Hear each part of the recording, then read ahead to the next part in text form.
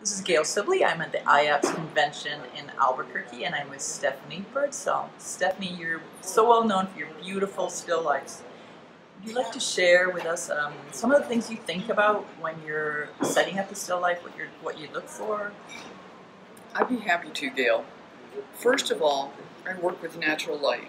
I have a north-facing window, so I have soft light coming in all the time, and many of my still lifes have a soft feeling. I like to feel like they are emerging from the paper.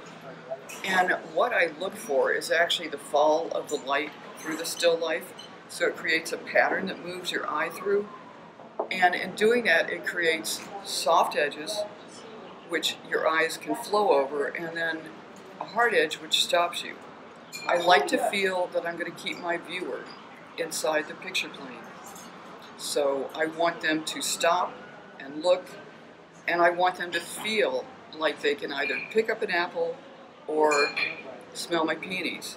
So for me, it's really all about the light. The other thing I've done is I do have an artificial LED light that I set about six feet away from my still life and my paper. And what I've done is I have tuned it to the light that's coming through my window. So I adjust the warm and cool to the point that when I have it on, the color of my objects doesn't change.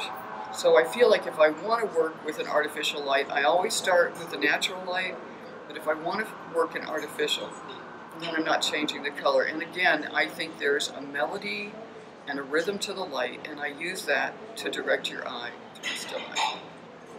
That is so great. Thank you so much. It's a pleasure, Gail.